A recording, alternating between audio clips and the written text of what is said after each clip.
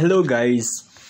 Here i'm going to uh, hello guys. I am a student of nit meghalaya and here i'm going to talk about nit meghalaya. It is the best institute in the northeast part of india and everyone there is smart and work hard. For now nit meghalaya is in a temporary campus.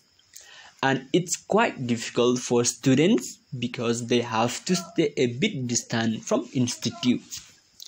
They have hostel in different part of Shillong city.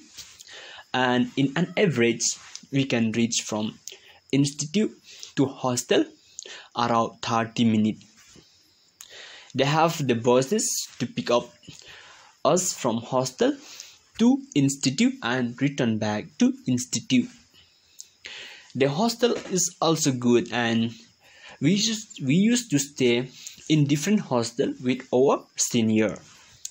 And it's fun to stay in hostel because we got more amount of internet connection so we can download movies or we can watch uh, youtube videos or we can play video game the park or we can play video game.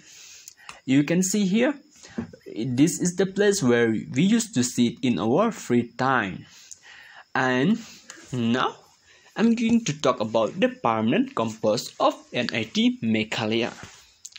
The permanent campus of NIT Meghalaya is in Sohra which is under the construction.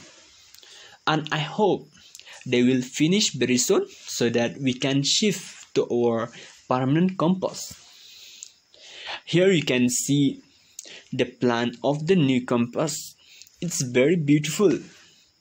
Hope they can make it the way they have planted it. Thank you guys for your time. Hope this video will